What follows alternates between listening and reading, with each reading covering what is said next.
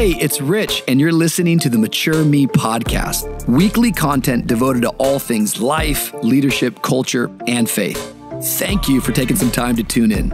Make sure you subscribe and follow us on all our social channels so you don't miss a thing. Let's listen to today's episode.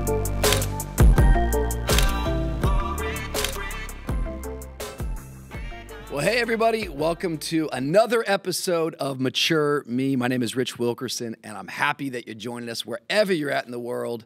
We're so grateful that we get to come to you. Maybe you're listening to this right now in your car, maybe you're watching on YouTube. If you are, do us a favor like, subscribe, share, leave us a comment. Tell us where you're tuning in from.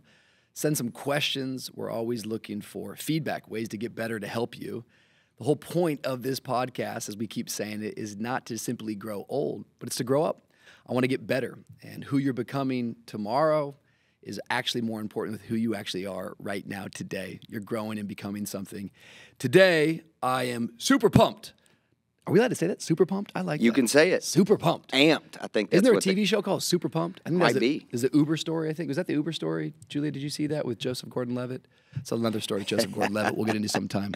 Great actor, by the way. Um, I'm excited because a new friend of mine, someone that I have been uh, watching from afar for quite a while, someone that I admire. He is a husband, father, and pastor of Legacy in Nashville, Tennessee. Uh, it's none other than the lead pastor himself, Pastor Lyle Phillips. How are you, my friend? Bro, I'm so good. Bro. And thank you so much for having me on the podcast. Bro, we've been trying to get you to Miami. Let's talk about it now for about a decade. For about a decade. Stop, bro. For about a decade. I had no lying. idea you even knew about Legacy Nashville Church. Let's go. man. Bro, I know um, my friend Doe, Okay, yes. Doe Jones. Don't say the last name, just Doe. That's the artist. Doe, that's the artist formerly known as Doe Jones, aka Doe. I think it was the first person who told me about you guys. She loves you guys, man. Yeah, we love her. We love She's her. She's something. So anointed, so powerful. We love wish she could sing better. Yeah, You know we've really mean? been Like, praying for her. Have you had her like? You should probably get her through the audition stuff though Yeah. first, just to make sure. Yeah, she's some vocal lessons. Maybe she needs some of that before we let her lead again. Yeah, but yeah, we're, yeah, we're, I mean, we're, we're a loving her into her purpose. She got a good heart. She got to like how does how does somebody have Doe sitting there in the church? It's like we gotta we gotta use you. It's like ah, I know, but I'm just coming to receive. It's like well, you got to give at some yeah. point too. Oh yeah, but that's Nashville, Rich. So we have seven Talk worship that. leaders that were on The Voice See, in our church. I can't do this. I know bro. that's wild. Yeah, I can't But do we this. have BGVs that were just on The Voice. See, I can't do this, man. It's really not fair. Other pastors tell me don't say that in public, but that's crazy. I know it's wild. Nashville. Tennessee, no place like it, man. No place like it. We're man. I'm so happy that you're today. Thanks for for coming on. Um, honestly, a big fan of yours and thanks. love watching all the things that you and your wife are doing, the way that you guys are leading. It's really inspiring for me, and uh, I'm just pumped that we get to have a little conversation. It's funny. Uh, I wore my uh, Nike Alphas today. The Alpha Flies. As I put them on, I'm on your Instagram, seeing that my man is a marathon runner, and um, I kind of wore these as a flex, like Yes, only those who know, like real recognizes real. Oh, yeah. And now I feel dumb because I'm like, I just found this out. I'm like, Lyle has already ran two marathons with some insane times. No, no. The first one was not an insane. Because I just ran a marathon recently, and it was not. You got to talk about it. If I'm you're in a therapy vegan, about it, bro. I can't talk about it. CrossFitter I or a can't. marathoner, Yeah. you have to talk about it every conversation. It's true. The best thing about running a marathon, telling people, Yes. I'm preparing for a marathon. That's right. Brother, That's I right. preached about this 14 weeks in a row. It's the Yes, only sir. illustration I had. It's the only content I have. Absolutely. Um, no, I ran one, but it wasn't a very good time. But but you actually are like you're a, you're a marathon runner. No, this is a new thing. So I would Yeah, consider tell me myself like an amateur runner, right? So um, I, I love running, and the reason for that is because of my father. So he ran five miles a day my whole life. So Really? yeah, I, that's like some of my earliest memories about my dad was him getting home from work, putting the shoes on, lacing them up, and out for a run. So he put it in me, and so I always wanted to run. And he invited me to run my first marathon in 2021, I Okay. think it was. And so I ran one, but I was not really ready for it. Kind of like your marathon yesterday, Rich, Yep. because you were injured, and I was sick and injured prior to mine. So there we go. There we go. Yeah. So you were What'd you run your first one in? 525. You got it done. So you should be way more encouraged than you actually are, bro. You That did a great job. 458, man. That 458. Yes, sir. I just wanted to get it done, bro. Yeah. It was not the time I was looking for. But you just did another one and you like crushed it. I did. I did. It was it was my goal time. I wanted to run a sub four. That's what I was training for. I hired a running coach to help me get to that place. And the A thing, running coach. oh yeah, he's a professional triathlete, and so he runs. He's run the Boston in a uh, sub three. I think a two fifty. He finished the, the Boston in. So what is that? Like, is he running with you or is he just giving you a plan? Uh, mostly a plan, but it's a little more involved. So he'll check in every single day or every three days, like how you feeling, what's going on, what are you eating, how you sleeping. I mean, everything is about that race and getting you to achieve a PB, a personal best, Yeah. as they say in the running culture. Guys, we don't expect everyone to understand this, but I mean, Yeah. once again, deep calls to deep. Right. As runners, you know, we talk about these as things. runners. So yeah, man. So I, I I was training, hoping for a 415, Rich.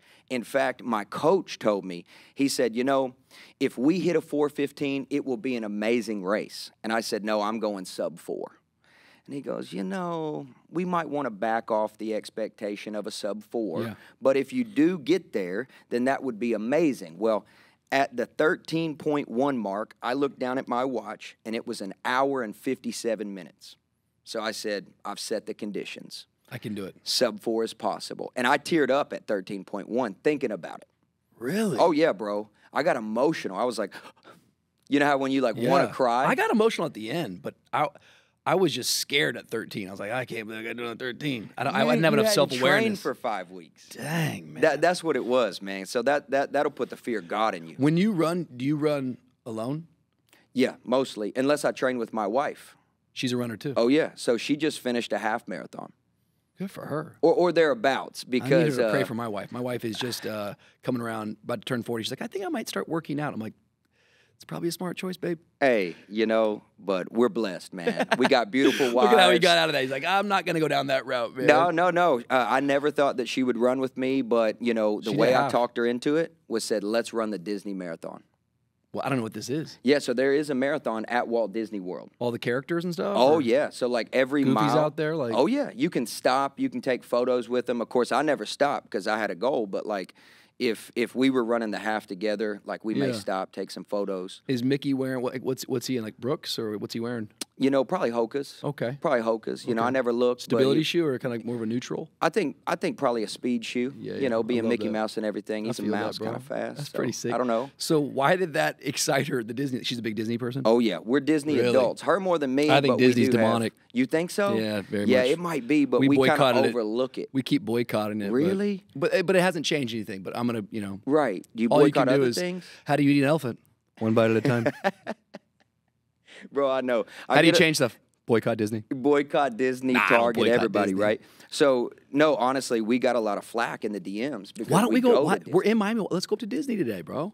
easy. I think, man, like You want to? Oh, I'll let, Let's fly up, bro. I say we no, we just drive. We run. Drive we up. can We'll run, run bro. up. As slow as I'm running my marathon, bro. We'll get you up can there get to Disney week. and back. Literally, bro, I got done in five hours. I was like, bro, I could have made it to Disney from Miami. It's long. I could have, I could have ran from Miami, been in line on Space Mountain, rode the ride, and Yep. then that that Absolutely. that's the whole situation. Absolutely. But the reason why marathons are hard is because you run out of glycogen. See, you start dropping stuff like that. I That- is that tongues? What was that? Yeah, yeah. Glyc- how do I say that? Yeah, yeah, glycogen. Okay. It, it, it's it- Hebrew for It's yeah for uh, holiness. No, I'm just kidding, bro. It's it's a basically it's like what your muscles store Yeah. that give you energy. Okay. So you run off of glycogen, and when you run out of glycogen, you can't run anymore. brother. I dropped like nine gels in this thing, dude. oh yeah. Oh it, yeah. it was hot in Miami, Yeah. and we were. I was in a zone five. For, Yeah, I was bro. telling you this for seventy five percent of my run. no, no. I'm too old for that. Yeah, yeah. You should have slowed down and and went six hours, bro. Hey, hey, I got that dog. yeah, you do, bro. Have you ever seen that clip on social that goes, dog, rich, dog? He's naming those people. yeah, yeah, yeah. Dog. Me and my friends just send each other that. like that. Just we got two seconds of dog. Yeah, I like Yeah, that. man. So when you're running, um, what you, listen? If you're with your wife, you guys are talking, or you We guys, talk, Are you guys yeah. listening to stuff? We, we we pray in the Holy Ghost, man. You know, we're real spiritual like that. Really? No. Oh. We talk. talk. We talk. But if you're by yourself, you listen to stuff. I do sometimes. Sometimes I listen to the uh, VOUS Church podcast. love You know, you, get a little inspiration. I listen to uh, our buddy Nick Bare. I listen to his podcast. That's our guy, man. That's our guy. Nick, if you're listening, please send gels.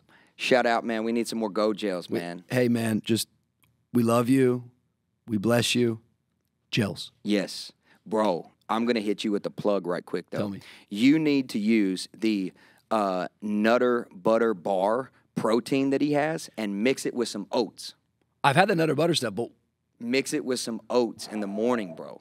It'll get you right, especially before a run. man, you know stuff. You got that wisdom. Bro, spirit's resting on me, bro. Bro, it's that I- mantle, a Nick when, Bare. when when when do you when do you feel with that morning? Yeah, so morning. So you want to make sure you eat enough before a run. So Okay. you probably felt really, really exhausted at like mile 17, Yep. 18, because that's when you're out of Brother, glycogen. 17 Yep, was the devil. yep. That's I when you hit the wall. I was like, this just got hard. Yep, that's when you hit the wall. Yep. And and you know what I said to myself? I borrowed this from I'm a dog. dog. what 17, bro. I borrowed this from this um, uh, girl. She she goes by the name of of Track Club Babe on Instagram. She's cool. She's a believer. Okay. I think her name is Kim, and her husband is an Olympic qualifier marathoner. Wow. And there was this clip on social media that I saw of them training together where he was coaching her and he asked her at like mile 18, he was like, You hurting right now? And of course, she can't talk, you know, so she's like, you know, and he said, You hurting right now? He said, It's your job to hurt. Can you do your job? That'll preach. Bro. And so I was thinking the whole time, mile 17, 18, can I do my job? Do your job. Do your job. Let me tell you what I was thinking. I want to get in my bed. I want to go sleepy with my wifey. Um, that's that's why you did your time. I think. I mean, I learned so much doing it, and uh, I'm not sure if I'm becoming like a runner all the way. Yes. I do love the idea. Like uh, fitness is just a big deal to me. Health is a big deal to me. I just love the idea of being able to, at any moment, go out and run eight miles. I think that's Yes. pretty cool. It That's cool. Like how your dad would get up and run five miles like that every day. I think that's a really Mm-hmm. cool thing to watch. Tell me a little bit about like, because I don't know much about where you grew up. Oh, your yeah. story a little bit. Yeah, yeah. I've kind of heard like little things from here and there, like clips and stuff like that. But Sure. Tell me a little bit of your story if you don't mind. So, I- so I grew up in West Kentucky. Yeah. I, I mentioned this earlier. It's not a city; it's a village.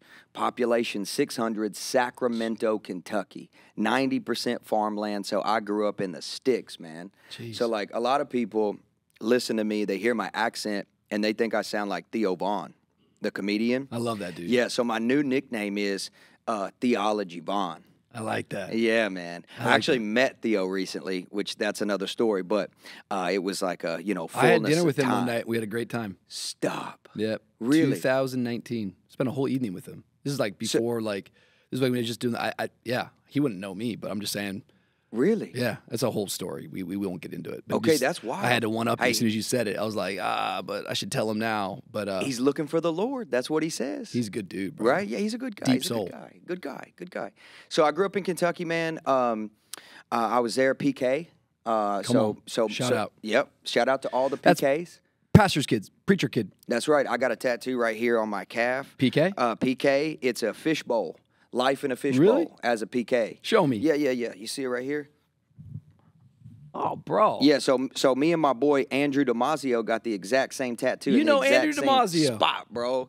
Yeah, his dad is my bishop, bro. I didn't see. Yes, sir. I love those people. Yes, sir. The Damazios, man, good people. So we got that tattoo together, and uh, grew up a PK. Uh, but um, I was I was a prodigal when I was 16 years old. I was playing uh, basketball quite a bit. Just got, started running with the wrong people. Uh, ended up becoming a full blown drug addict by the time I was 17, 18 years old. Uh, moved out when I was still in high school. Lived in a crack Tell house. me about that. What? Do you, a? How, how does this Yeah. happen? Tell me about that. Yeah, uh, it's a wild it's it's a wild journey to get there. But You start smoking weed. Yeah, it started with uh, weed and pills and, and liquor and, and parties and stuff like that. But by the time I was 17, man, I was a full blown addict. I was shooting up heroin, meth. Um, yeah, I was in a mental institution when I was 18 years old. When you were growing up, Yes. you knew your parents were instilling right and wrong. Absolutely. What? Give me like try to go back. I, I kind of was a little bit of a prodigal, but nothing Sure, to sure. this point. What What's like kind of in your mind as you start to make some of those decisions? Like you know this is wrong, but What is Oh, it you're looking for? What is it you want? Like, I, I, I was running as fast as I could get from God because I knew I had a call of God on my life to preach the gospel. I knew that from the time I was 12, 13 years old. And I heard the voice of the Lord in my dad's church calling me to preach the gospel. And I told the Lord then, no, Mm. I will not do it because here's what I said preachers are poor.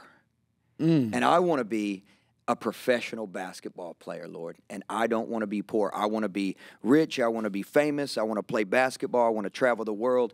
I don't want to live in Sacramento, Kentucky and preach the gospel.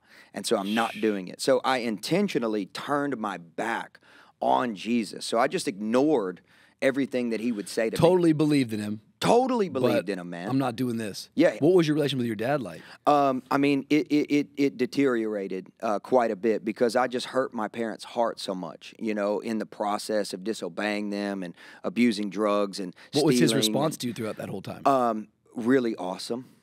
He loved me the entire time. You know, sometimes it was tough love, but he loved me. I remember calling him one Wednesday afternoon from jail, and I said, "Dad, I, I, I was arrested again. Can you please come pick me up?" And he said, "Son, I'm about to preach." He he said, "I'm walking upstairs to preach. I can't come get you right now." And he said, "I think you need to stay there for a little bit and just think about what's happening in your life," because he knew it was a way to get me clean yeah. you know so I, I, I was arrested more times than i can count rich. I was shot at uh, all of my best friends at the time. A lot of them went to prison a lot of them killed. Uh, my roommate actually was shot point blank range in the chest died in the street and i wasn't with them, thankfully but that was my life prior to meeting jesus What was all the violence due to? uh, gang gang activity. You wouldn't think that being in West Kentucky, but there's a there's a pretty strong drug route that comes between Memphis and Chicago, where I lived in Kentucky, and so I ran with a street gang. So this starts beginning at 15, 16? Yeah, yeah, that's when the addiction started, sort of evolved Can you tell me a that. little bit about addiction? Sure, Like, yeah, yeah, yeah, man. I mean, the- it's some of the process of like how you get there. Like I don't Yeah. understand how someone starts shooting heroin. Yeah, it just sort of you sort of devolve into that because you kind of chase the high, right? So at first it was just weed and pills, and then it became, uh, you know, cocaine and heroin, and now they got fentanyl. But I never did that. at When was the time. first time you did heroin? Uh, when I was 18 years old. Were you scared attempting it?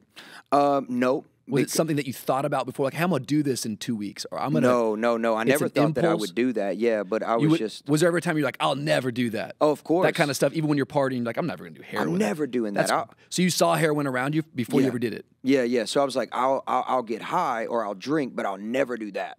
You know, but eventually you just kind of chase the high and you get to a place people call addiction a, a disease for a reason. And I was in that place, Rich. like, I mean, I know what it's like to feel crazy. And that's one of the reasons why I was in the mental institution because they were trying to get me clean. So I was in a state hospital, you know. So I was there for a whole month and then I spent quite a bit of time in jail, you know, kind of in and out, different stints. I've been arrested a lot, you know. So What were you usually getting arrested for? um, all kinds of stuff, mostly violence and and drugs. Yeah. So one of the times that I, I did get arrested, um, I was um, I had a warrant out for attempted murder because there was a violent altercation altercation that took place between me and another guy. But thankfully, because of my dad, you know, and, and because the guy, I guess, found it in his heart to testify uh, the truth. Uh, it was actually I was able to get out of that situation because what they were looking for me for was not true, but nonetheless, that was what my life was like prior to Jesus. That's why I tell you the story. Yeah. When you when you're like on heroin, you're Mm-hmm. doing drugs, do you still have the ability to be self-aware to say I've got a real problem or is it all denial like are you are you still doing normal things? Were you still playing basketball, like shooting heroin? Are you still no, being no. I think once you get to that point, I think the best. I think most people do understand they have a problem, but they don't care. Because there's no way you could not be aware of the reality that you have a problem because everything about you changes. Your physical appearance changes. The way that you think changes. Um, I mean, my parents told me the three or four times that they saw me in four or five years, like when I would come around, like I would have a lot of like tremors and stuff, and then I would also forget what I was saying. And so those years of my life are really kind of blacked out. Like I do remember God. certain things, but they're really kind of blacked out. And like right now, when I'm sitting here talking with you, like Mm-hmm. you're so sharp and you have such a great skill of communication and you're Mm. fast and you're witty. All of that kind of like um, personality set that Yeah. was all in you way back then. Yeah, for sure, for sure. Yeah, I've I've always been a a, a fun going guy. You know what I mean? Like I've always enjoyed uh, being the life of the party and cutting up and having fun and and uh, you know I think some of that was still there, but it was definitely suppressed. Man, a lot of darkness, bro. A lot of darkness. That's what a lot of people don't understand about drug usage. Is there's a lot of demonic stuff embedded within that man. And so I remember even even doing all that stuff, Jesus never stopped chasing me. Jesus never stopped talking to me, Rich. Was was interesting. Like, I'm 39. I'll be 40 uh, this year. Same. Let's go. Yes, sir. What What are we doing? 40, man. I don't know, man. I told Disney? Madu we might go to Italy or something. He's turning 42, you oh, know. so we got. I got to up the game. It can't be Disney. no, no, no. We gotta go. we gotta- gotta, go to Europe or something, bro. We're bro. gonna do something big. We're gonna do something big. But like when I'm listening to you talk, maybe um, uh, we had kids later. I think your your oldest is nine. Yeah. So you got a little Mm. Yeah. head start on me, but our, our oldest just turned six. So we kind of started having children a little bit later in life. And it's all so interesting, like becoming a parent, becoming a father, because I would have heard this story even just six years ago. And my heart breaks even just like hearing you share it and talk about it from you, from your perspective. Yeah. But it's interesting when you have kids, Yeah. how as you're telling that story, I'm like, how did your parents Yeah. survive that? The love of a, of a parent to a child, watching Yeah. their kid go through that hmm like is there any um, lessons there from a, from a parenting standpoint like uh, maybe if Yeah. someone's out there with a kid who's going through something like that like I meet people with kids that are going through that all the time. jesus uh, all the time because they hear my story, so they come up in the altar and they say, "Hey, I, my child has this this issue, and I want you to pray with me right now for that issue." And one of the things that I tell them is that you don't need Jesus to touch them in the place of their pain. You just need Jesus to touch them you know and so I, I think a lot of times people think well he's got to heal my child of their addiction but maybe he'll do that later he just your child just needs to encounter jesus in one way or the other and he'll figure out the timing of how they heal and everything so i would say that you cannot outrun the prayers of a praying mama Mm. My, my mom interceded for me to be touched by Jesus. There's no doubt she prayed into my, you know, symptomatic conditions, but she prayed for me to encounter the Lord every single day. and so that went from 15 to 18 or how, how long was that 21. so a- Yeah. a, solid six years Yeah, man. Of running Abuse. Yeah. abuse Yeah. should have should have died Should have died. Overdosed three times. Uh, multiple dear car jesus crashes. bro i didn't know all this Yeah, suicidal. Uh, put a gun in my mouth, and and the only reason I didn't pull the trigger for whatever reason, like I was just thinking about my grandmother. So uh, that's why I didn't kill myself. and what happened at 21 21, man, Jesus came and got me, bro. I, I this is not going to make sense to some people. I get that, you know, but I, I was a PK, so I understood the presence and the power of God. Even though I didn't want to be around Jesus, I didn't want to read the Bible, I didn't want to go to church, I, I isolated myself from all of that. I still knew the presence of God. I knew the power of God was real, and I knew Jesus loved me. Because even in the midst of my drug usage and telling him, I don't want to speak to you, I don't want to follow you, he always spoke to me. And I always heard him, you know, and it would be like drives, and he would speak to me and tell me to come home. And so, man, I was 21 years old. SWAT team just kicked in the door uh, down the street at my friend's house. We were selling drugs together. So at this time, I'd become a successful drug dealer. All right, so I just counted out $120,000 in cash on my kitchen table. My friend had just been arrested coming back from a drug deal in Alabama. So I'm by myself, sitting in my drug infested apartment, selling cocaine out of the cabinet, growing weed in the closet, and I see somebody walk past my window. And I was like, oh, SWAT's here, right? I got guns, I got drugs, I got cash, I got everything. SWAT is here. So I go, I look out the window, no one is there right? So I'm like, hold on. I saw somebody. I know somebody's there. Maybe they're hiding. I go to the peephole. I look out the door, and I'm like, no one is there. So I take a step back, and I'm thinking, I'm not, I'm not high. You know, I, I'm in my right mind enough to know somebody just walked past my window, and I didn't see Jesus like I'm seeing you, Rich. But I knew Jesus walked through the door, walked into that apartment, and spoke to me very clearly. And he said, In six months, you will be dead or in prison unless you come home to me right now. I fell on my knees. I lifted my hands. I knew enough to do that. I repented of my sins and I accepted Jesus. That is how I got saved, man. That's your encounter? That's how I got saved. No Bible, no no preacher, no church, no TBN, nothing, bro. Just just Jesus came and got me. You know, I tell people I thought SWAT was coming to arrest me, man. It was Jesus coming to arrest me, bro. That's crazy. I've been preaching ever since then, since that day. Well, I was going to say, what what what happened? Did you go call your dad? Did you like? yeah. What was your next step out of there? Yeah, You moved um, out of that place. You I stayed did. there. I did. Yeah, I called my best friend who was holding a bunch of money for me, and I said, "Hey, bro, um, I, I've had an encounter with Jesus. God. Uh, I quit. Uh, please bring me the money you have for me. I'm moving." And I, here's what I told him, which is a special thing to me. Um, I'm gonna move home, and I'm gonna be a good son to my parents. They've never had a son, a good son, and I'm gonna be a good big brother to my three little brothers because they've never had a good big brother. So that so that's what I did, and um, and bro, I was in full time vocational ministry six months later, pre- preaching the gospel. What happened with your addictions? Gone, immediately, no cravings, no no no withdrawals, nothing. No AA.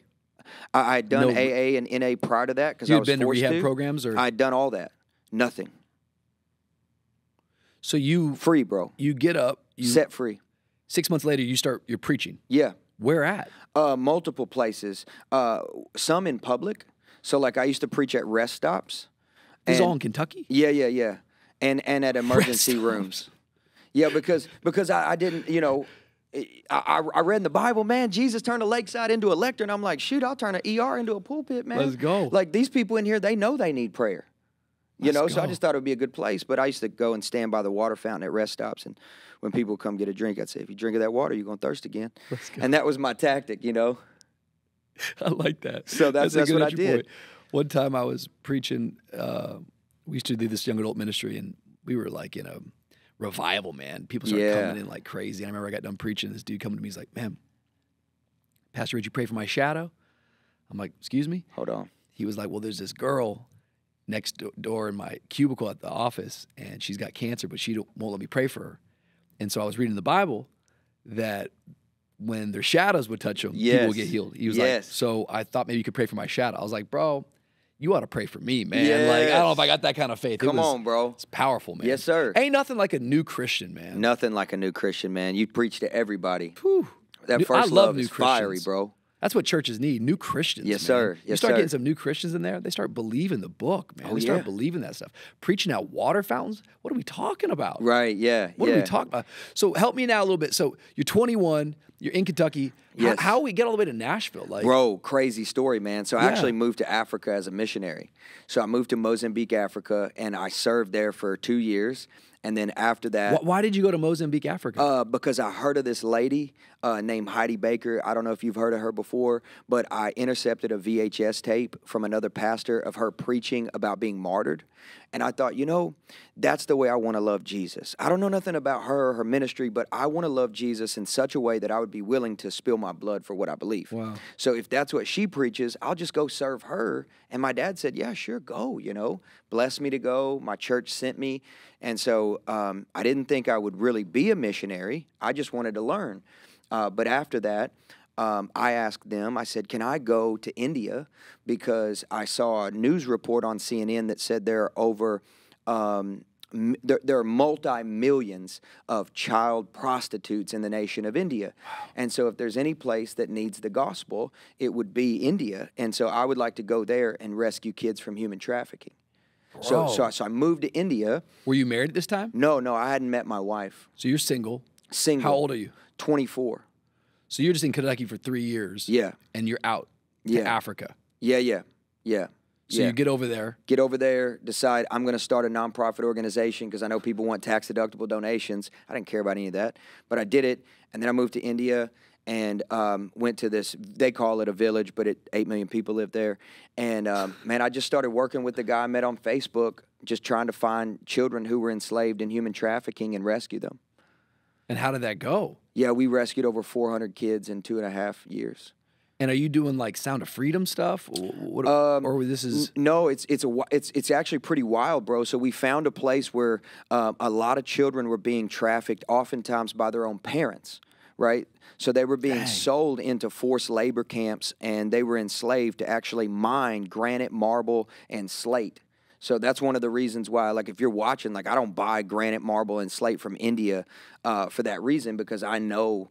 Um, I know, not not that I buy a lot of granite, you know, but like I wouldn't, I wouldn't, you know, because I see like there are children our children's age that are Jeez, working in those conditions, right? And so uh, we met some kids working in those conditions, and we asked if we could, you know, find out who they were enslaved by. Mm. And so we found some people to talk to, and we started offering them money for the, the kids' freedom. And so that's how the, the process got started. And initially, they just threatened us. Yeah. Like, absolutely not. You guys are Christians. Yeah. We know who you are. We're not We going to let you to- yeah. come here and Try to ruin our business. You're ruining our business because these children, man, they're it's like that story. Remember in Acts when like they cast that demon out, Exactly. and they're all mad. They're like, "Bro, Exactly. you just took our business." It, that's exactly right. So, so they're used as slaves during the day and prostitutes at night. So you're over there. What brings you back to the states? Just I needed help because I was by myself mostly, and so I would have like short-term tr- uh, visitors who would stay with me, but they Yeah. were very soft. So I didn't want to run with them. I needed some like real, you know, dogs. You know, dogs. dogs, some dogs man. With me. dogs, bro. And so I started a base in Nashville, Tennessee. how'd you pick. Nashville? Uh, that was my airport. It's just the easy airport to Easy that's where you flew airport, to. bro. You that we ain't got no airport in the sticks. Do you still go back there? Uh, yeah, yeah, man. That's where like my family's from, and my grandmothers lived there. And No, I'm saying, do you ever go back to uh, India. Yeah, No, not really. not really. No, I don't really. I don't really want to right now. You don't want to. No, How come? it's a lot of lot of memories. You know, it's um, it- it's good to testify to the kids you you were able to to free, uh, but it's another thing to remember the kids you couldn't. You know what I'm saying? Yeah. So it's uh, it's tough. I don't want to go back right now, uh, but maybe eventually I will. You know, I have an opportunity to go back. I have some friends. I've been invited back. I just I haven't gone yet. Because you feel like there's still work to do there, but you don't all the way have the means to do it. Yeah, timing. I think. It's deep. Yeah. So I have gone. I've taken my wife. We have gone, and Yeah. and uh, so I, I think God will open a door. Tell me Uh, how you met your wife. Yeah, man, we met on our very first day of our church. Of course, at the time, we weren't calling it a church. We were calling it a missions base, you know? And she was home for Christmas break Dude, from I love stories like this. I love churches that formed out of the weirdest Oh, beginnings. bro. Your church. So this is what I'm trying to figure out. This is this is how the church began. It Yes, was sir. a missions base. A missions base, ain't a man. church. This is a missions base. Yeah, no, I wasn't a church. I had no interest in being a pastor, bro. I didn't want to be a pastor, not in America. Yeah, yeah. You We're know, I'm like, what is this? Sleeping Beauty, you Yeah, know? yeah, yeah, yeah, yeah. So this is like the base that you're kind of teaching the word. Yes. Tell them what we're trying to do. Yeah. Okay. Sunday night wor- worship gatherings, and I really didn't preach a lot. Um, I had a, I had a few friends, and we just took turns.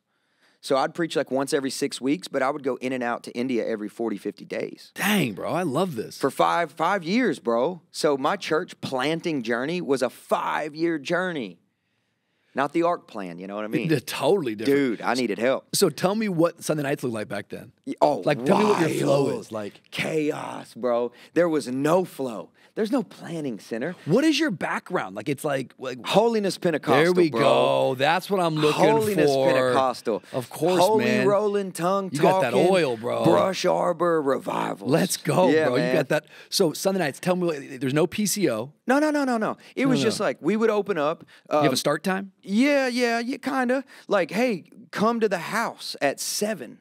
And so, like, we would hang out for a little bit, and it would get full, bro. We'd have a hundred people in here, just, just getting Yeah. it, you know, like worshiping. And so I'd kick off, and I'd say, if anybody has a testimony, open mic. So people would come up, testify. All right, we're going to start worship. Then we worship. People get up and just say wild, weird stuff. Oh, sometimes it was terrible. Like, you know, just like- oh yeah. Like, man, hey, let- let's. I got a seat. prophetic word from the Lord. Yeah, yeah. You know, I'm gonna play bongos tonight. You're not. you know what I mean? Like crazy stuff, Rich. I'm gonna play the bongos tonight. Oh yeah, and then the Holy Spirit's gonna. It's a prophetic beat. Oh yeah, yeah, yeah. bro. It's There's like- no rhythm. Yeah, it's like you're not doing. okay. that, you know what so, I mean? Mm-hmm. So you got you got. pe- And you then don't. some- anyone got anyone got a little, little Yeah, testimony. Yeah, testimony. Okay, then, we would worship. Yep. And so we just worship until you know I felt Do like. you lead uh, worship? No, No. no, no, no. But you always had people around. You, you always oh, had yeah. people around who loved Jesus, who could play and sing a little bit. So you know, we would have worship, and then and then I would teach, or one of my friends would teach, and it wasn't really a, a teaching. It was just kind of like like a, exhortation. exhortation. there we go. No notes, really, you Yeah. know. And then we would then we would pray for people who wanted prayer, and usually we would end around three a.m. Bro, Yeah, two or three a.m. Just worship, man. Just go for it. How is the word spreading? Just people going, oh, come over to come over to Lyle's house. Yeah, He's about to go on a trip, yeah, yeah, and yeah. we need to we need the glory of God before he goes, and exactly. we're sending him out in Yeah, strength. exactly. So they would pray for Yep. me and send me out, and I would take a, f- a few people with me. So, so I was trying to train people to become missionaries. There we go. Right. So, so I would talk about martyrdom, and Yeah. uh, you know, a lot of people don't like that sermon. You know what I mean? Because yeah, yeah. everybody wants to be like, I can change the world like Paul, but they forget Paul was martyred, and and so you know, like I I, I would talk about that stuff, and so that's how we would build uh, trips. So your wife shows up to one of these. Yeah, Glory uh, uh, gatherings. Did not want to be there at all because she thought this is some weird house church, like they're all hurt and offended, and I don't want to go. But like her friend came to Yep. them, so she came, and I noticed her, of course. And I'm like, hey, you know what's up? Like, uh, what are you doing? Like, what's happening in your life? And she's like, actually, I am not moving back to Nashville for another five years at least. So I kind of felt like she was saying, don't even think about it. Yeah, yeah, buddy," yeah. You know, and uh, So, she's just visiting from out of town. exactly She went with a friend. yeah, yeah, yeah, exactly. So she was living in You California. know, I met my wife the in time. Nashville. Stop.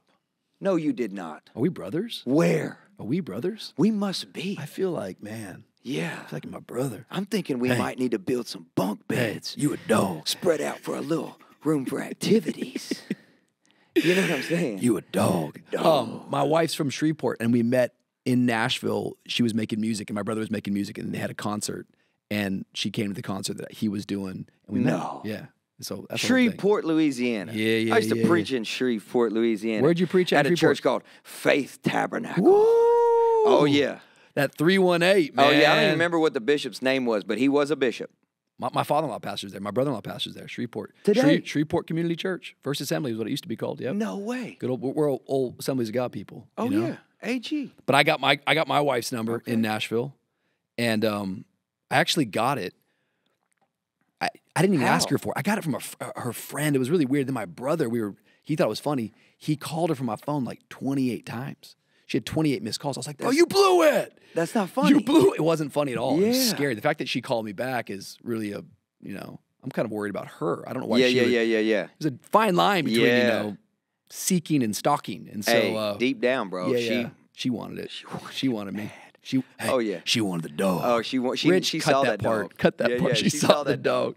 So you get her number. You're hitting her up. we can't say that. Yeah, they can't say. Yeah, we'll, yeah, yeah, it. yeah, It's yeah, easy. yeah. it's easy. Yeah. But you start calling her, and I actually, I actually Facebooked her. there you go. Yeah, yeah. So I didn't have her number. I Facebooked her, and and the reason I did that was because there was a there was a lady who used to come to our gatherings, and she was like in her in her in her fifties or sixties, and she said, you know what, you need to get married. You need to get married. I said, well, I'm trying. You know, I'm trying to get married. I, I don't. I don't have, I don't see anybody. I'm traveling a lot and everything. And she said, "Well, you've always been traveling. Uh, I think you need to be, I think you need to become comfortable with a distance relationship because as much as you move around, you should reach out to to a, to somebody. Is there anybody you met?" And I said, "Well, actually, there is somebody." And she said, "You know, it's, I, I love to hear you say that because I saw somebody at our gathering the other night that I thought you should be interested in." And she had an iPad and pulled up Instagram, and it was my wife's Stop. profile. And she was like, This girl, I feel like the Lord would really bless you pursuing her. You're like somebody get the bongos. We have the word of the Lord, Oh, we got the word of the Lord. We need a bongo anointing in here. bro. All of a sudden, Matthew McConaughey comes in. boop, boop, boop, boop, boop. Um. So was it? What, it Yep. took her a while to, to Yeah, fall well, in she love with you. or pretended she didn't like me, but Yeah, you know, it. I knew that she did. She said it wasn't really a member a memorable interaction. I just your accent, you know. She acted like she didn't like it, but she knew. Yeah, yeah. That buttery. Hey, uh, I love that accent, that's bro. it, man. That's it, bro. I feel like you're my brother, man. we, we are brothers, bro. No doubt about it's, it. It's undeniable. when did when did the home missions base become a church? Yeah, so I met Banning Liebscher in 2015, and um, and he said, I "Man, love that you need to plant a church."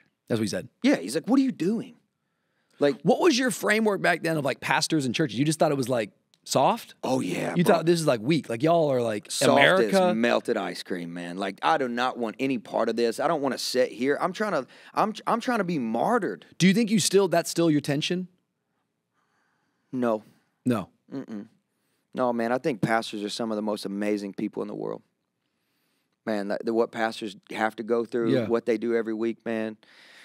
I, don't care where you are. If you're pastoring people and you're laying down your life for the sheep, you're you're you're a legend in my book. Why do you think that you had that kind of like idea that this is um, soft and this is Mm-hmm. the real mission over here? What, what, what do you think that all came from? A lot of missionaries think that, and so they propagate that narrative. So when you hang and roll with missionaries, they Mm, kind of make fun of uh, uh, churches in America. That's a the lot. easy work. Yeah, yeah, yeah. It's the that's light a- work. That's the light work, you know, like we're doing the gospel, you know. And so I, I didn't have any other framework to to work with, and so I kind of took that on and I thought that way. And and then once I realized it's not that way at all, because. I hmm. started to get to know pastors in America, and I realized, man, like, man, it doesn't matter where you go, man. People be peopling.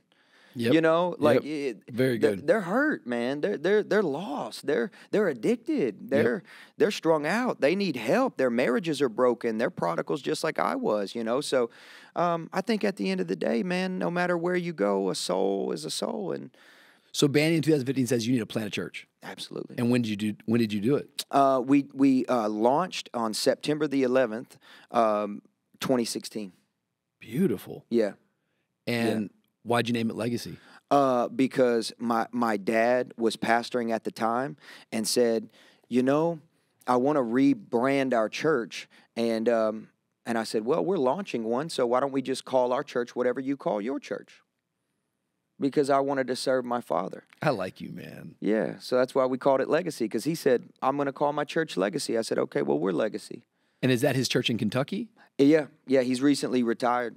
And is that under your leadership now? Yeah, my little brother pastors the church. Come on. Yeah, How old's your brother? yeah, he is uh, 33. So cool. Yeah. My little brother pastors a church in New York, and he's probably 33.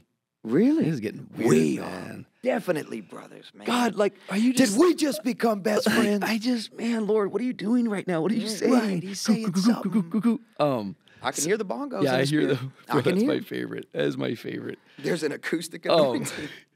so, talk to me about planning Yeah. the church and, and Yeah. how it's been. Yeah, Or so, when did y'all um, get married? Yeah, so we got married in, in 2013 actually. So so my wife was willing to ad- adopt my crazy missions based Yeah. missions lifestyle and like because of some of the testimonies of what God was doing in India, I was also traveling and preaching. So a lot of young adult gatherings, some churches, and then I would need to do that to raise support for the kids. So she was like, "It's cool," uh, but we had our Sunday gatherings, and then Yep, September 2016, we launched. And bro, I had no idea how to pastor a church. So, like you said, planning center, right? Like, Yeah. that's my, oh, I guess we should figure out how to use planning center.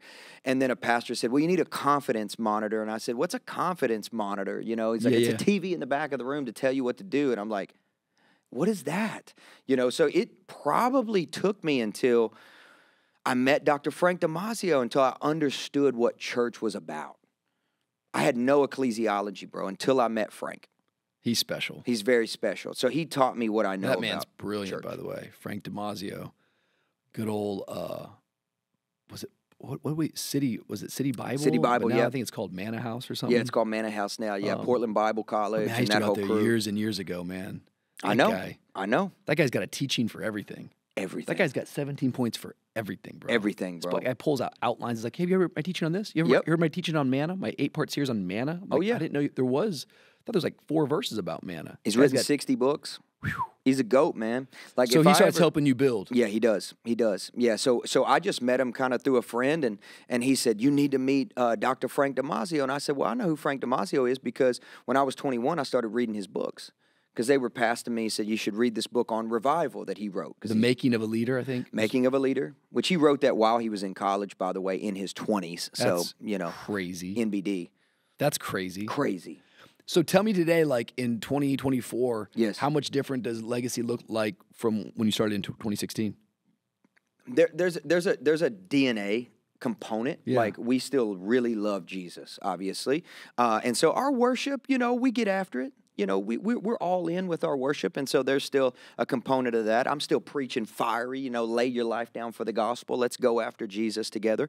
Uh, but it's changed a lot. You know, uh, we have three services on a Sunday morning, and so we definitely use Planning Center, and we Yeah. have a flow, and we have a set list, and we're a lot more organized, and we have systems and a staff, and you know, really focused on discipling people. It's more than just an event that people come to; it's a family that they Yeah. belong to. So it's changed a lot, way more structure, way more structure. How was it for you guys? Like that feels like that's a lot of like big adjustments. Getting married 2013, Yes. planning a church in 2016, Yes. having children. Oh yeah. Um, h- how was all that for your wife and for you guys in your relationship? Oh man, well, um, my wife, bro, and you know she's in the room in the back, so um, you know, I'd, if she wasn't here, I'd I'd probably cry, you know. But since she's here, I'll hold it together. But she's the best, man. Like from from start to finish, she's always been my greatest advocate. Um, always been, you know, a champion of everything that I felt like God was speaking to us to do. And she is a real pastor, man.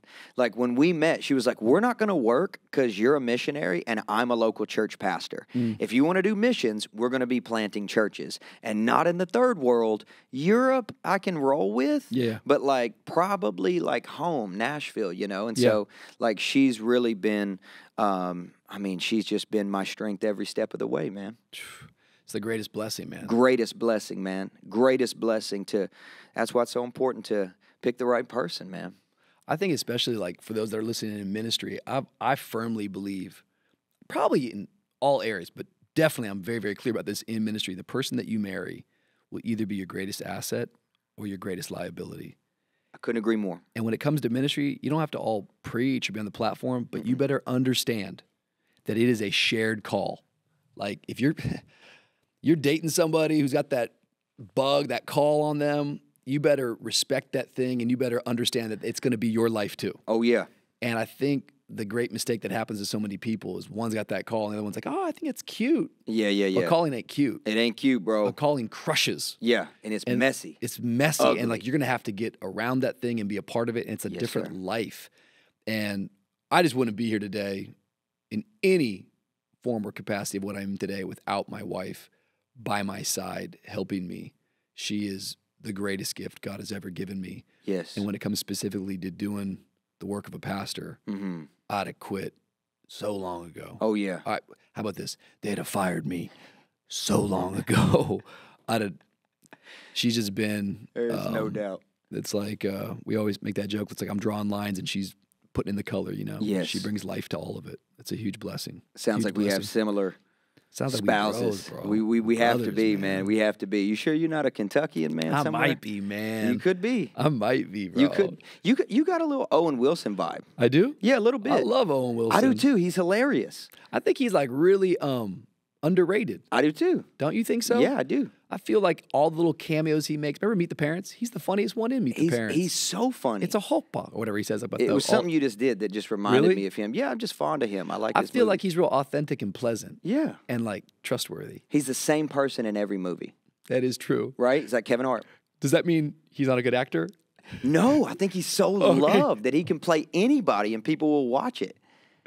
I heard I heard one of my friends was preaching the other day and he said the worst movie ever is Marley and Me. I think the whole point he was trying to make was that because it breaks your heart. but Yeah, I'm like yeah. Marley and Me is a great film. Absolutely, Owen Wilson, if you haven't seen it, absolutely. I Yeah, we can him. recommend that one. I love Owen, man. Yeah, man. Um, tell me what's happening right now at Legacy. Sure, Like, tell me a little bit about like what God's doing. Yeah, man, we're just building. We are building. Yeah. We are trying to figure out how to knit together a wineskin to hold the wine, so to speak, to give you an allegory. Like, um, God's really been blessing us, you know, sent a lot of people to our church. People have moved from other cities to join our church in the last 18 months. And I'm not talking like one, two, three families. I'm talking like 10, 15 families have moved, watching online, decided to come. And so that's been really exciting, but we're just trying to figure out how to, you know, manage that growth. And I'm, bro, it's one of the reasons why I wanted to come here because I don't know how to do that super well. I don't know how to do church super well. And so I need to learn from you. And so that's the season that we're in, bro. Is like we're trying to figure out how to deal with the good problem of growth. You know, I've been teaching a whole lot this year on the life of Joshua.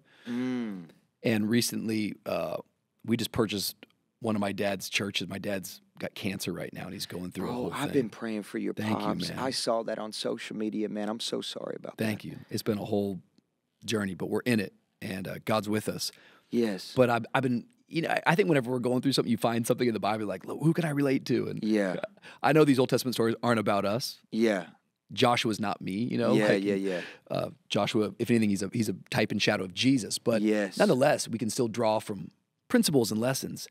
And I'm just really inspired watching Joshua's life as he's in this huge transition Mm. and he matures and he grows. Yes. That's why we're even having conversations like this one. hmm But one of the things that really struck me the other day that I was teaching from, and I've never preached on it. I don't I don't know a lot of messages around this subject, and it's what you're talking about. Mm.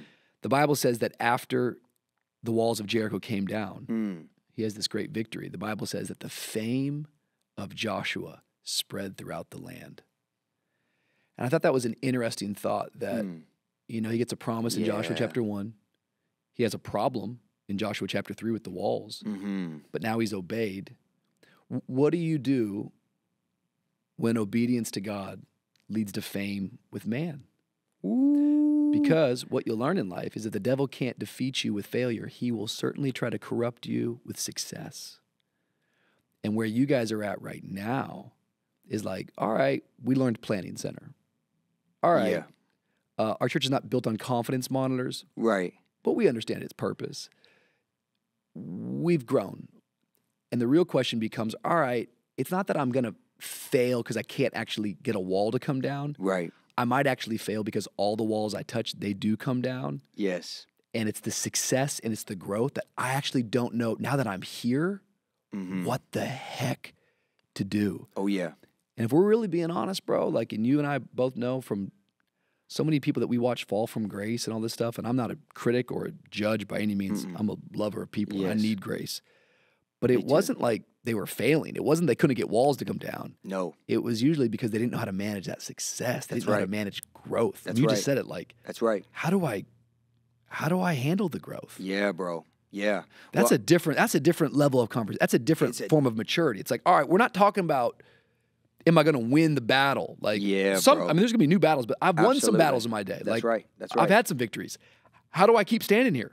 How do I keep fighting? How do I Yeah, man. How do I keep moving forward? How do you keep the edge? How do you stay hungry after you've won? After you're after you're 30 and 0? You know, how do you keep that hunger to win again, to fight again, to pick up the sword again, to take territory again? I mean, bro, you live here in Miami. This is a celebrity culture, I think.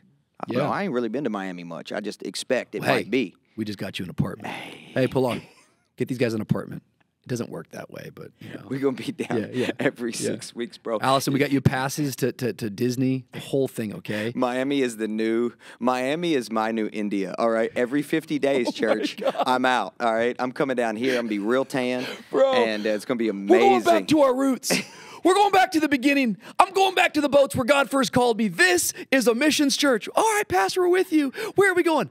Miami. Miami, Miami, let's go. When I say three, you say oh five. It doesn't work that way, Rich. Okay, yeah, sorry. people people be like, uh, We- we're hold lost, on, wait we're just a second, man. I I I, I mean, I, I would love it, bro, and I get it because, and I, I know you know more than me. I can only imagine what it was like, like, uh, and I hope I'm not bringing up anything like old or sore or anything like when you did Kim and Kanye's wedding. You know what I mean? I'm sure that that was crazy. Like people calling you, texting you, Rick, can you believe this? You're doing this. Like I remember when we first like blew up on YouTube, right? When we got our silver plaque. Yeah, yeah. Right? Um, pastors were calling me like, How did you do it? Yeah. Uh, teach us. Teach us. You blew up. You're blowing up. And that phrase, you're blowing up, you're blowing up, you're blowing up, Mm. started to grate on me, bro. It started bothering me. I was really, I was kind of tired of hearing that. And so one morning I got up at church and I said, Hey, for those of you guys that have been saying to me that go to church here, and for my friends who've called, or those of you guys who are watching us on YouTube talking about you guys are blowing up, I just want to make a quick statement. We don't care. Good. We don't care. What we want is to be desperate for Jesus. And I understand that success can actually hurt our desperation. I think one of the biggest killers to our desperation, Rich, is a double portion. Woo-hoo. Heat. Yeah, man. I think a double portion can take you out because when people get twice as much as they need, Woo. bro, they'll stop thirsting. They'll stop being hungry. They'll stop being desperate. And what's crazy about our culture is that they'll be stuck in a foothold, but they'll call it favor. God has blessed me so much that I don't have time for church anymore. God has blessed me so much that I don't have time for prayer anymore. God has blessed me so much that I don't have time for intimacy anymore. Dude, when did the favor of God start leading us away from fellowship with God? You're If- preaching. You know what I'm saying? Like if the intimacy Come doesn't on. increase with the favor, then you actually call in favor what's a foothold. Ooh. And we got people out here today talking about it's a blessing, it's a blessing, it's it's a distraction. You're preaching. You know what I mean? Absolutely. So we gotta stay, we gotta stay, gotta keep that dog energy, man. But, what, but what's interesting, what you're saying, it's like number one, if you're too busy for God, homie, you too busy. You're too You know, busy. like, you just you're too busy. I read a quote the other day. Um, Hurry's not of the devil. Hurry is the devil. Mm. And there's this idea when you're hearing I'm blow, you're blowing up, which is all, by the way, so silly and Oh. stupid and small. And if we're not careful, we'll just live in our little cul-de-sac and little Oh, community of rah. You're, bl-" it's like Come on, man. like even that passage of Joshua becoming famous, it's it's a lie because fame is fleeting. Fame is this it's a cheap currency that our world lives by right now, Yes, which is dependent upon external factors Totally. to try to produce a fabricated security, which we know all security comes from the inside out, comes from our identity in Christ. But I think what's what's scary about this whole thing about success is that we get so we love hearing it. Mm-hmm. And I really believe that fame, if you'll what it does is it creates distance between you and real people. And I think what you have to do is that you actually have to put yourself back into positions and put yourself through habit and discipline into places where you're saying, no, I'm going to make sure I put myself back in the mess, back into the uncomfortable thing. Amen. It's like the running. We get back to the marathon. We're coming full circle. It's Absolutely. like, yeah, you gotta you gotta stay in it. You gotta stay in the training of Yes, it. sir. You're not just done. You have to make Yes, it a sir. lifestyle and a habit.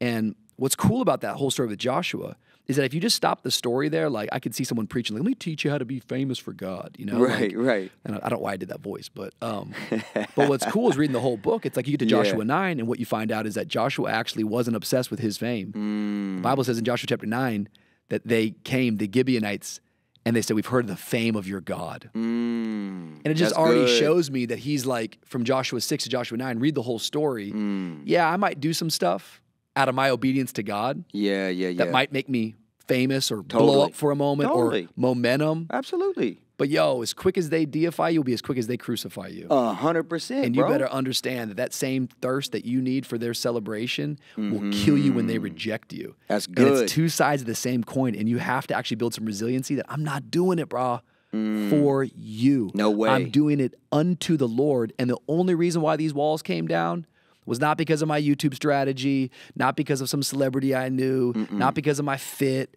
not because of my style, not because of the way I talk. It was because of the Lord. It's because of God. Like, Only reason. because of God. Only reason. And I think we just get, I think we grow weary in doing good and we start liking what people are saying to us. Absolutely. And we Buying into our own press. Can I can I make a statement? yeah, you can say anything. Um, bro, I want to be famous in hell. there you go. There you go. I want to be famous in hell, bro. I don't about care it. about being famous in the earth.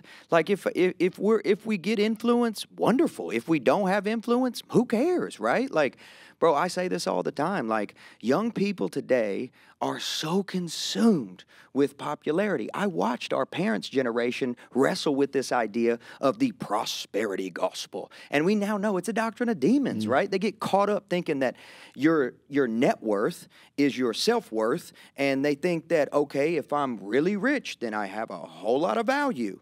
Mm. Today, we don't struggle with the prosperity gospel. We struggle with the popularity gospel. Woo. We're, we're thinking that my follower count equates my favor.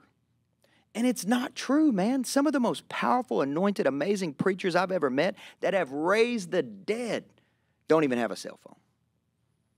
That's the truth. That's the truth, bro. That's the real truth. and we buy into our own press, you know, because we have, you know, a thousand people show up to an event. Bro, I've met people from Ethiopia that have a million people in their church. Yep. Yep. You know, and it's like, was that beautiful Mother Teresa quote? I think it's like, God hasn't called me to be successful. He's called me to be faithful. Amen. I like that. I want to be famous in hell. I want to be famous in hell. I want the prison guards in hell to know me on a first name basis. You better man. preach. You know what I'm saying? I like your preaching, man. That's Jesus it. arrested me at 21. I thought the SWAT team was out there. Hey, but I got apprehended. It was the King of Kings the, It's that the holy- Hound it's- of Heaven. He was outside That's it, man. It's that holy. It's it's that holiness, man. It's the roots, man. I used to go to brush arbors as a kid. You know what a brush arbor is? Tell me about it. A brush arbor is an open air revival meeting, but not a tent you set up temporarily. It's actually a structure that my papa built in Sacramento, Kentucky, as an annual meeting place where we would go and, and worship the Lord until past midnight. And I used to remember watching my dad preach until he would wring sweat out of his tie, and I would watch my aunties roll around in the sawdust because that's what they would put on the floor, you know, with their big beehive hairdos, and they'd have sawdust in them. And so, even though it's like, you know, some of those traditions were a little wonky. You know, the power of God was present and it marked me. And so today, you know, I, I remember those moments. I, I remember times in church whenever I pretended like I didn't get the glory goosebumps, but I knew God was in the room. Mm. And one of the reasons, Rich, I would say that I don't really care so much about all of the external accolades is because I just often remember sleeping in the back of a 1987 box Chevy. So Nothing like the presence of God. nothing like the presence of God, man. Nothing like being touched by God. Nothing like it. It's funny. Ain't no high like the most high, man. preach. Um, you were talking about I want to be famous in hell. I think that's just so good. I, I was thinking uh, when I was like 20, yeah, probably 23, 24, used to preach his whole message. I think I got it from Jim Raley. You ever heard Jim Raley Oh preach? yeah. Bro, That's he's a dog. He's, he got some dog in him, doesn't he? Bro, he, he Apostle Raley, bro. That, ma- that man He throws down. can just preach. Some people just got that flow. But I used to, I think it was an old message I had ripped from him, but it was uh, Hell's got what you need, or four things in hell that you, I can't remember how I did it, but like, it's that old story where like, um, it's that parable that Jesus taught about the, the, the man in hell calling out, is it Lazarus or whatnot? Oh, yeah, yeah, So it's yeah. like there's a prayer language in hell, there's a thirst in hell, uh, there's a, there's an evangelistic spirit. Please go tell my brothers. Please let them know. I don't want them to come here. And it's like, hell's got. There's some things in hell that you actually need, bro. You need to learn how to pray. They're praying in hell, but ain't nobody answering. They're thirsty in hell, but ain't nobody coming to. But we got the living water. I just.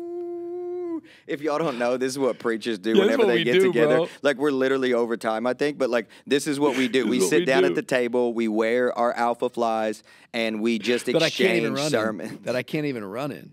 You can, bro. This is you what just- gave me a stress you, fracture. You man. need to be healed I'm injured, in Jesus' bro. name. I got a bad. Is it called a gait?